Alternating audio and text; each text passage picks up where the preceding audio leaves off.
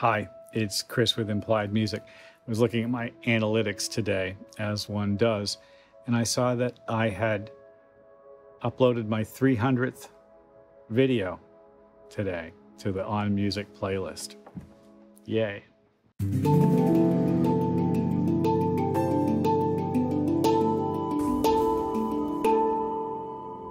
Uh, for a lot of YouTubers, 300 isn't a lot of videos. I started uploading every day back in October with a goal of getting a thousand subscribers by the new year. Well, now we're at 1800. And each video is getting, I don't know, a hundred or so views, maybe a little bit more. I'm sort of trying to pay attention to what people are really getting the most out of, what you like the most, what's not working as well.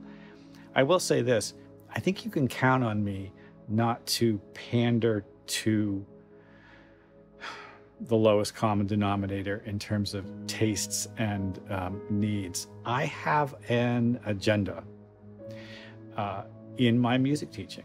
I want you, I want my students to be the best they can be. And I have an idea about what it takes to get there. And it doesn't always coincide with the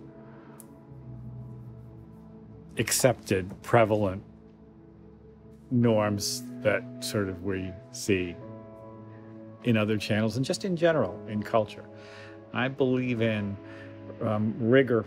I believe in planning and hard work and daily discipline. I believe in playing an instrument. I believe in, in setting a goal and working towards it incrementally. And of course, I'm not the only one who believes that. That's a standard progressive idea in classical music. Well, if you've stuck with me, if you've watched more than five or six of my videos, I think you believe in it too, because I know that if you didn't believe in that, you wouldn't be able to tolerate me. Stick with it. of course, I always say that, don't I? It's the thing that I think is probably the thing that I talk to myself about the most. I'm not particularly talented. Um, what I am is stubborn. And I think that if you're stubborn, you can take that thing that's unique about yourself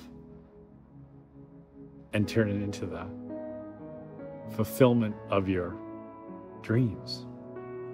Be stubborn about your dreams.